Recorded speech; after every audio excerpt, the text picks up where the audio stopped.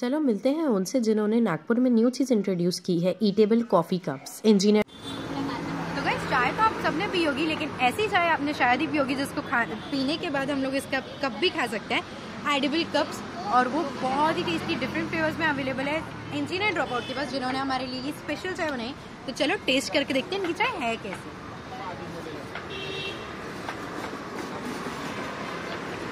भाई चाय तो बिल्कुल स्वादिष्ट है और इसके साथ साथ इसका कप भी बहुत अमेजिंग लग रहा है जो कि कंप्लीट करने के बाद मैं आपको खा के दिखाती हूँ। तो हमारी कंप्लीट हो चुकी है लेकिन ये कप को हम फेंकेंगे ही नहीं इसको हम खाएँगे।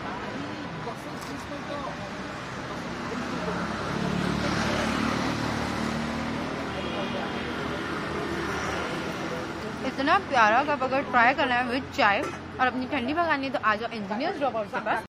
और ट्राई करो उनकी लाजवाब चाय जो कि बहुत ही ज़्यादा स्वादिष्ट है और उसके साथ साथ ईटेबल कप चॉकलेट फ्लेवर ओहो भाई, मज़ा आ गया।